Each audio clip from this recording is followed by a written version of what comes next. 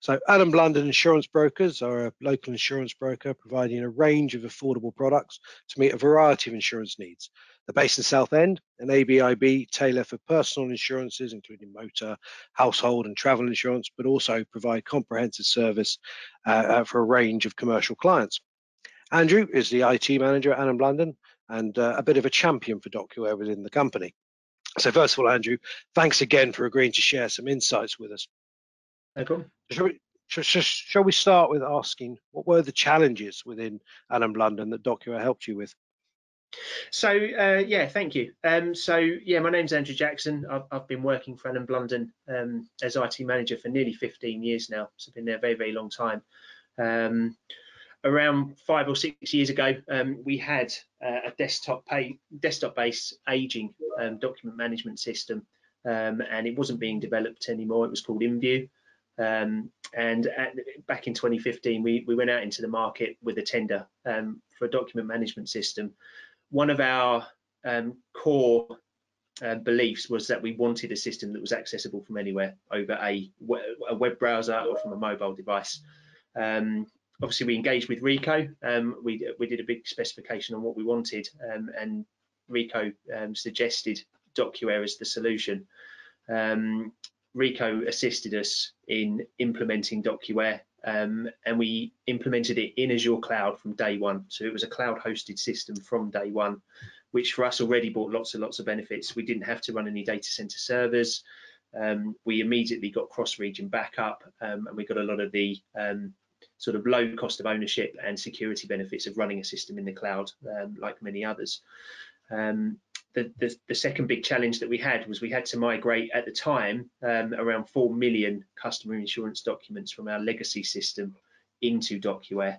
Um, and thankfully, the, the, Ricoh technical team were able to actually come up with solutions to allow us to do that quite quickly. Um, so to, to get onto the new system was um, it was quite painless actually. It, it went very very well. Um, yeah, hopefully that answers your initial question at least. Oh, definitely, thank you very much for that. So you mentioned some of the benefits in there about the DocuWare bring, but how else do you think the solutions benefited Alan Blunden over the years? Oh, um, yeah, several fold. I mean, as as an insurance brokers, we currently, I mean, we we create around six thousand um, customer documents a day now, which are all stored in DocuWare. Um, and every person in the business who needs access to those documents can retrieve them very, very quickly. Um, that's particularly important in our customer service teams. Um, obviously, we've got call centres, we've got people that are ringing in um, to renew insurance um, renewals or to take out new business quotes, um, and we need our customer service operatives to be able to actually view the history of that customer, their insurance schedules, their statement of facts quickly. And because we're able to operate DocuWare in the cloud and the fact it's very, very quick, um, it means we're able to serve our customers.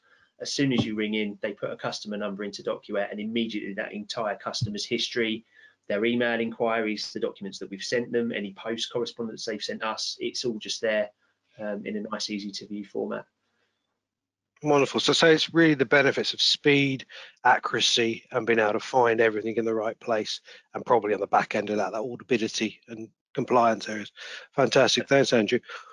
So obviously you've been working uh, specifically in the sort of financial services insurance sector, but can you see how this could transfer to other organisations and other sectors out there?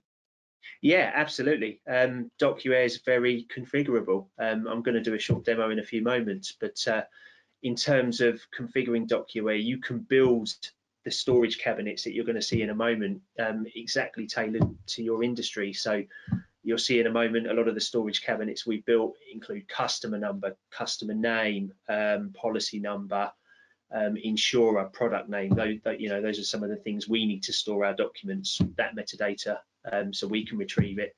But because you can design a cabinet with any number of fields, yeah, it really does apply to anything from sales to finance to HR, or any other line of business or application that you might need to work with. Fantastic. So thanks for those insights, Andrew. Um, hopefully some of our audience can see parallels within their own organizations. Now, you've uh, you very kindly agreed to show us a little bit of how you use DocuWare within the environment. Uh, your live demos are always scary, so good luck. But uh, thank you very much. I'll hand over to yourself. No problem.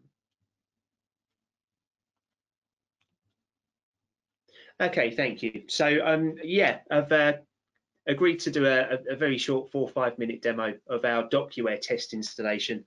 Um, obviously for GDPR reasons, I, I, can't show you a production system, um, but Ricoh have actually helped us create a test copy of DocuWare that we use for development and testing um, purposes within our organisation. Um, for me, DocuWare has kind of three um, three main components. Um, I mean, firstly, you can see I'm just using a web browser to access DocuWare, um, which effectively means it can be accessed from anywhere. Um, we've got it configured so you can log in with our um, staff Active Directory credentials as well. So we, we don't need uh, our staff to maintain different usernames and passwords and things like that. Um, and that makes administering the system a lot easier for us. Um, but yeah, three three key areas within DocuWare. Um, so firstly, you have what are called document in trays. Um, and this is really the landing pad for all of your documents coming into the system. Um, and these can come from anywhere. These can uh, come from MFPs and scanners that you might have in the office. Um, you're able to simply import any type of document directly from your desktop, whether it be a PDF, Excel, Word, text file, HTML file. Um, DocuWare can handle all of those different file types.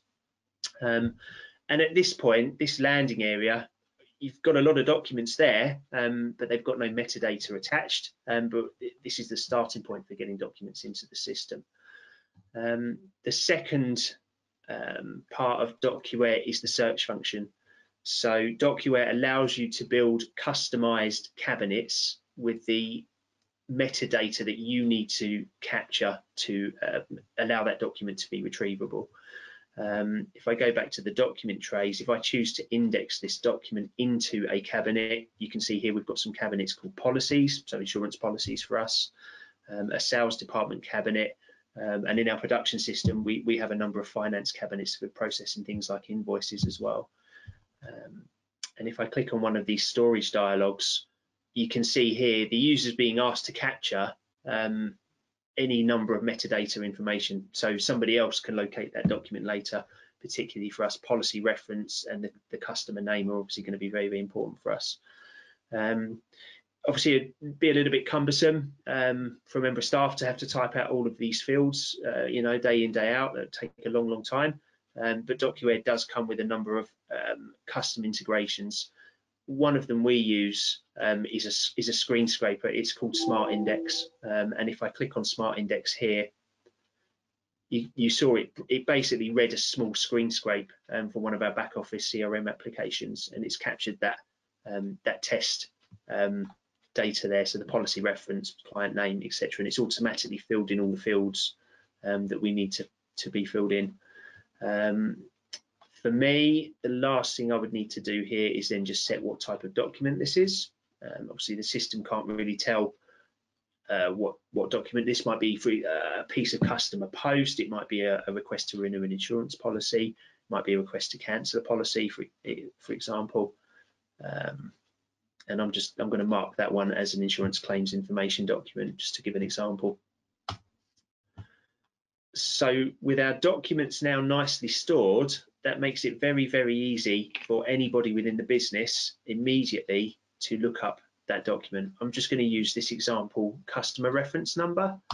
Um, and if I paste that in there, it's all, it's, I mean, it's already um, cleverly given me like a suggestion of the policy number it thinks I'm after. So it's, it's quite intuitive that way.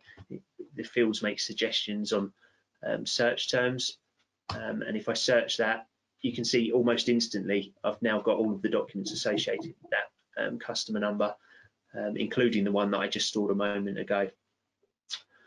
Um, if I double click on that, then I can see um, that document on the right hand side. And again, this is all being done in a web browser. There's no having to open Word or any other kind of application. You could be accessing this on an iPad, for example, and you'd be seeing the exact same thing.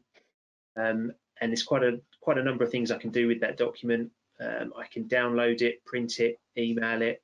Um, it's quite a quite a nice number of viewer tools in here. So if that text is a bit hard to read, I might decide to sort of zoom in on an area, look at the document. Um, you can rotate it. Uh, it's quite a nice feature in here as well that you can annotate documents and put notes on them, um, which is quite handy as well. So you might want to annotate a document and then when somebody else views it, they'll actually see that note attached to that document as an overlay. Um, but the real power for DocuWare for us um, and the real decider on, on, purchasing the product really was uh, what's called the workflow engine. So as an insurance business, we've got all sorts of uh, insurance documentation coming into this system that needs storing. We've got customer documents, um, insurance schedules, etc., that are being produced by our back office other applications, line of business applications. We've got customer posts coming in. Um, we still even have a fax machine, believe it or not, because uh, it's some some very old school insurance brokers still like their fax machines. Um, we have emails coming in from customers. You can imagine we we get hundreds a day. Um, and a lot of that documentation, post and email inquiries, it needs something to be done on it. So uh, again, taking the example of renewing an insurance policy, um, the workflow engine gives you the ability to start a workflow and create a list of tasks to be done based on that document. Um, so the document that I've just stored there a moment ago um, with claims information that has now appeared under the tasks tab. Um, it's assigned to assigned to me and anybody else within my team as well, not just to me personally, but uh, um, take the example if I'm working in a customer service team, that task will now be assigned to that customer service team. Um, and they can actually click into here, view that document, I'm using a test document right now, um, but to take the example, this might be a piece of post where somebody's written in and says, I, I wish to renew my property insurance policy with you. Um, and we've now got a list of work to go through.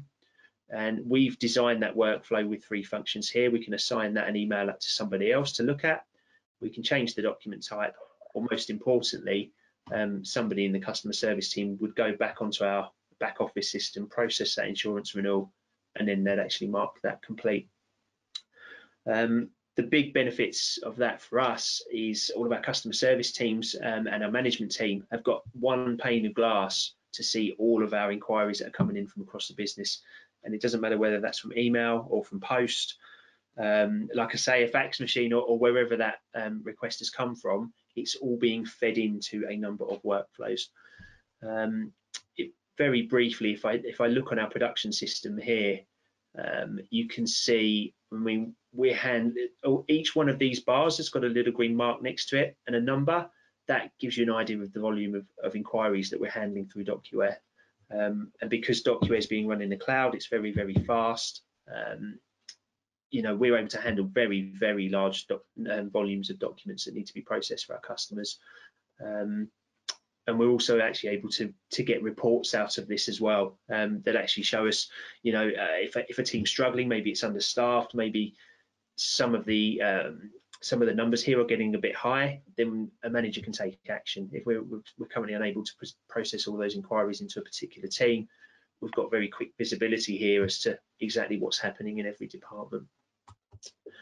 Um, the very final part I wanted to touch on, it's been key for, for our business. Um, I'm showing you here the DocuWare interface itself and um, the fact that I can store documents from my desktop and I can scan in post, etc. Um, but DocuWare comes with a very extensive um, built-in um, .NET API. So we actually have a lot of our broker plat our broker platforms that we have are actually sending electronic documents directly into DocuWare using those APIs. Um, so our um, broker inquiry forms, for example, they're, they're on our portal, they're branded as us, um, and if that broker submits a, a, request to change a policy, it's actually being electronically fed into DocuWare and into those workflows um, behind the scenes. So we're not having to um, give our brokers a login to DocuWare, but they can actually use our branded portal um, to submit inquiries, and that gets fed into the to the back office system that the that the staff are using. Um, so yeah, in summary, um, we, we, we found DocuWare very very beneficial. It, it, really was a game changer for us um, in terms of the software that I run in this business. I mean, we run a number of um, different vendor softwares, but this it's probably one of our most important systems. Um, we really, really couldn't live without it. And it really did pay its dividends when COVID hit because it's a web browser system. Um, when people began working from home, um, we were able to give them access to that customer information almost instantly. So there's a, a small demo there, hopefully. Hopefully that covers a, a few nice points of it. Excellent. Thank you so much. Thank you so much, Andrew. Um, I think that what that shows really effectively is sort of a number of key areas that how easily DocuWare can handle information from any source, whether it's emails, as Andrew mentioned, some people still use faxes, which is quite shocking, but it does. It can run scanners for you. There's all sorts of other ways we can input in there, and we, there's lots of areas we haven't shown you today, but it's really to give you a nice flavour of how this can be used in the real world, and that was really effective. Thank you very much, Andrew. Ricoh